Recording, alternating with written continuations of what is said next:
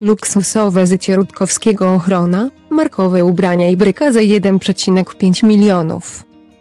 Detektyw uwielbia nietuzinkowe auta.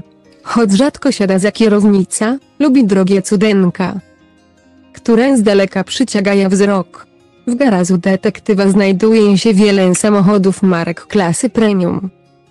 Tym razem Rutkowski został posiadaczem Mercedesa AMG G63, którym przemieszczają się najlepsi polscy piłkarze, w tym Robert Lewandowski.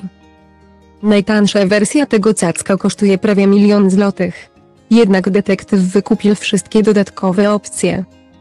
Za co musiał zapłacić dodatkowo 500 tysięcy Krzysztof przy jego zakupie z pewnością brał pod uwagę fakt, że ten model Mercedesa często występuje się w teledyskach amerykańskich raperów oraz filmach fabularnych opowiadających o gangsterach.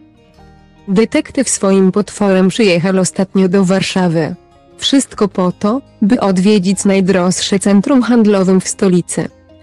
Wszedł do najdroższych sklepów, w których zostawił kilkanaście tysięcy złotych, mówi nasz informator. Gwiazdorowi towarzyszył prywatny ochroniarz.